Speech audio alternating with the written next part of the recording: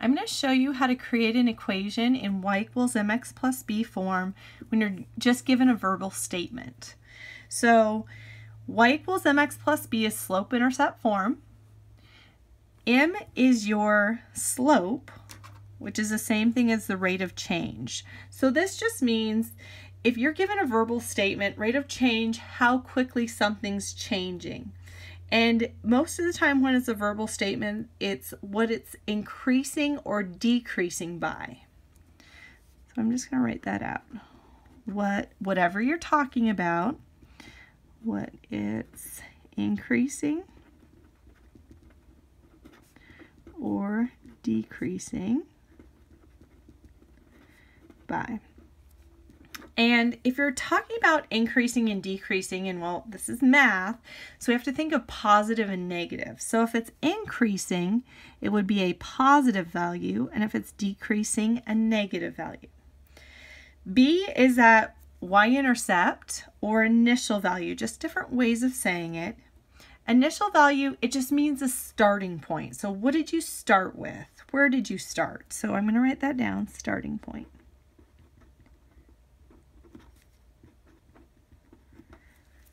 Okay, this first problem, Tanner already had $1,000 in his savings account, and he is planning on putting $100 into his savings account each month. Create an equation that represents the amount of money, Y, Tanner will have in his savings account after X months. So, we're given he already has 1,000 in a savings account. That's what he already has. So he's starting with that value.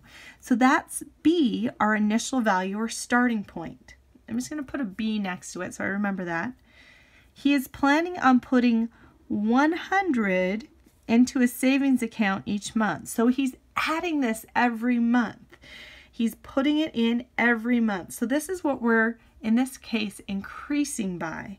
So that would be M. And because it's increasing, it's positive. So putting it in this form, keeping x and y as the variables, it is y equals m, which is 100, the slope or rate of change is 100, times x, plus that initial value or starting point, which was 1,000. All right. Let's try this one out. Anna has already made four necklaces and she plans on making five necklaces a day. Create an equation that represents the number of necklaces Y Anna has made after X days. Okay, well, she has already made four necklaces, meaning she already starts with that. That's the starting point, so that's B. She plans on making five necklaces a day. That's what she's increasing by. Every single day she's going to make five more. So rate of change, or m.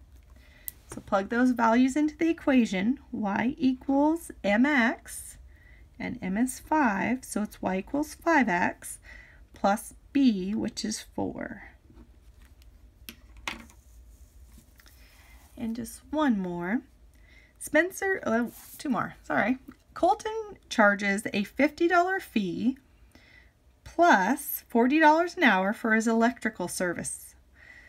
Create an equation that represents the total cost Y for Colton's electrical services after X hours. So he charges a $50 fee, meaning when he when he shows up to do electrical work, he's going to charge you a fee. So that's the starting amount without even working at all just to show up. Usually there's a fee. Check out what's going on. So this is the initial value, or B, plus it's $40 an hour. So every hour it's increasing by $40 that you're going to pay Colton. So that's M, your rate of change. So the equation is y equals mx, or 40x, plus b, so plus 50. All right, now the last one. Spencer has already shot 500 foul shots in the off season, and he plans on shooting 50 foul shots a day during practice. Determine how many foul shots Y Spencer will shoot after X days of practice. Well, what did he start with? He already had shot 500 foul shots in the off season. So that's his starting point. So that's B. He plans on shooting 50 foul shots a day. So every single day he's gonna, going to increase by 50. So that's our M, rate of change. So the equation y equals mx, so 50x, plus b, so plus 500. Whoops, almost forgot the x.